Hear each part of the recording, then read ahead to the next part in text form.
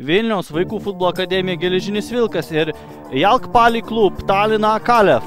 Įvarčių santykis 39 pelnyti ir 35 praleisti. Įvarčiai. Čia labai puikiai proga Geležiniam Vilkas. Tai galėsim geriau pažinti tiek Latvijos, tiek Estijos, o gali ir kitų valstybių futbolininkus. Dabar dar viena proga. Vyksta sistema e, ruduo pavasaris, tuo tarpu Latvijos ir Estijos vyksta pavasaris ruduo. Dabar gera proga pasižymėti Kalevui ir jo seka dabar komandos draugams. Čia gali būti pavojinga. Ir smūgis link vartų skriejo dabar. Nėra taip paprasta ir štai taip išprovokuota buvo klaida.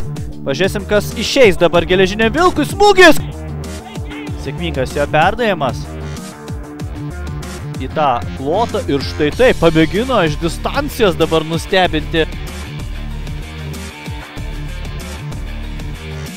Liekamas pavojingas smūgis. Numeris Miko Erikas Mendlo.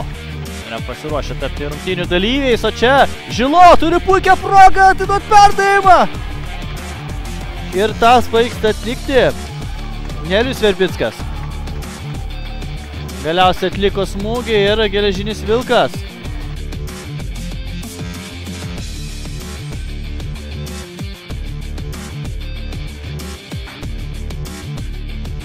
Tikrai, iniciatyva kol kas priklauso lietuviams ir galima dar pabandyti pelnyti dar vieną įvartį šiose rungtynėse. Sveikiname Vilniaus VFA geležinį vilką su pergalė rezultatu 1-0. Dėkoju visiems stebėjusiems šias rungtynės.